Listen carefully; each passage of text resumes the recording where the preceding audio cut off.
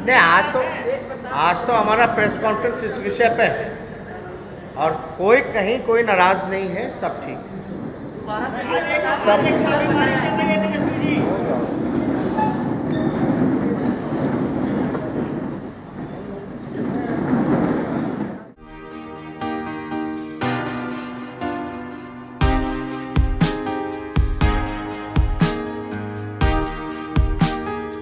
राष्ट्रीय जनता दल की राजनीतिक संस्कृति हमेशा तिरस्कार की ही रही है।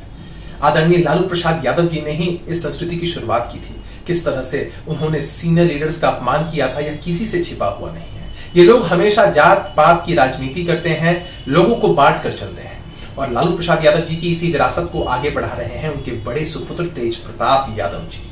हम सबने देखा है कि किस तरह से लगातार वो अपने दल के सीनियर लीडर्स जिन्होंने लालू जी के साथ काम किया है, उनको अपमानित करते आए हैं।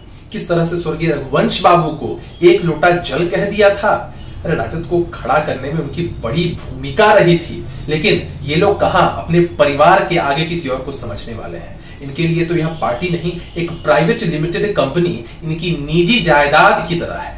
और अब लगातार तेज प्रताप यादव जी, राजद के प्रदेश अध्यक्ष जगदानंद सिंह को प्रताड़ित कर रहे हैं। हमेशा उनका अपमान करते हैं, कभी मंच से, कभी पार्टी ऑफ़िस में। अब तो बेचारे जगदा बाबू भी कोर्ट भवन में चले गए हैं। बीच में इस्तीफा भी दे रहे थे। लालू जी ने हस्तक्षेप किया, इस्तीफे को रुकवाया। लेकिन उनके दल के नेताओं को जस्ट सोचना चाहिए कि अगर राजद में राजनीति करनी है तो आत्म स्वाभिमान के विषय में नहीं सोचना होगा। और बिहार की जनता सब कुछ देख रही है। कि जो दल अपने पार्टी के सीनियर लीडर्स का सम्मान नहीं कर सकता है, वो भला बिहार की जनता का सम्मान क्या? करेगा